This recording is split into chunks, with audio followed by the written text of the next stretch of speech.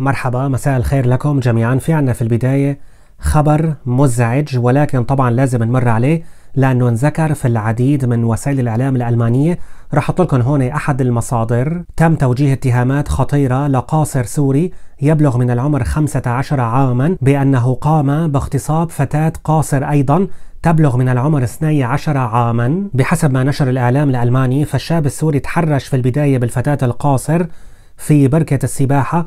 في مسبح في مدينة براونشفايك في مقاطعة نيدا زاكسن وتبعها لاحقا لغرفة تبديل الملابس وقام باغتصابها ويقال أيضا بأن صديق له قام كذلك بالتحرش بالفتاة في بركة السباحة ولكن لم يتم توجيه اتهامات للشخص الآخر فلا تزال التحقيقات مستمرة في هذه الجريمة ولم تكشف الشرطة ولم تعلن ولم تفصح في وقت مبكر عن تفاصيل الجريمة قبل عدة أسابيع لأن الضحية فتاة قاصر تبلغ من العمر 12 عاما. فوسائل الإعلام الألمانية بلشت تتحدث عن هي الجريمة من امبارح تقريبا.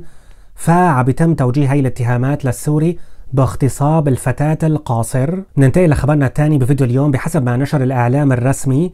فسيكون لدينا مع بداية العام القادم 2025 جولة صفرية نول غوندة فيما يتعلق بالمساعدات الاجتماعية من الجوب سنتا بيرجا جيلد أموال للمواطنين. فبالتالي بحسب ما أعلن وزير العمل هوبرتوس هايل فلن تكون هناك زيادة في معونات الجوب سنتا مع بداية العام القادم. فبحسب ما بيحكوا يعني بأنه أسعار التضخم انخفضت لمستويات قياسية ل 1.9% فالتضخم تراجع بشكل كبير بحسب كلامهم لأدنى مستوياته من ثلاث سنوات.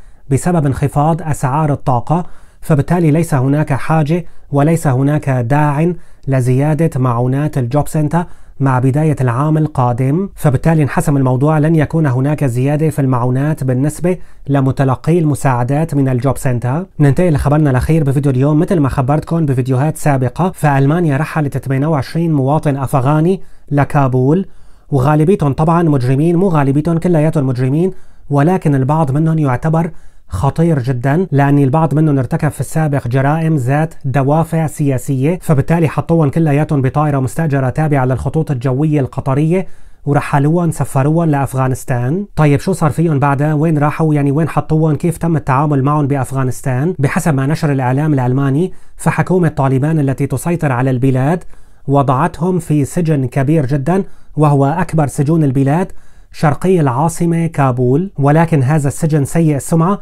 وتم فيه في السابق اغتصاب العديد من السجينات وتم فيه أيضا تنفيذ عقوبة الإعدام في عدة مرات ولا يخضع السجن لمعايير النظافة فبالتالي تم وضع هدول المجرمين هدول المساجين في ظروف غير إنسانية ولكن طالبان عم تدعي بأنه رح تتم محاكمة كل شخص بشكل فردي يعني بشكل منفصل. وعلى هذا الأساس بيقرروا كيف رح يتعاملوا مع كل شخص في المستقبل. كان معكم إلهام بوزان تبوا بخير وصحة وسلامة. تحياتي لكم جميعا وشكرا لكرم المتابعة.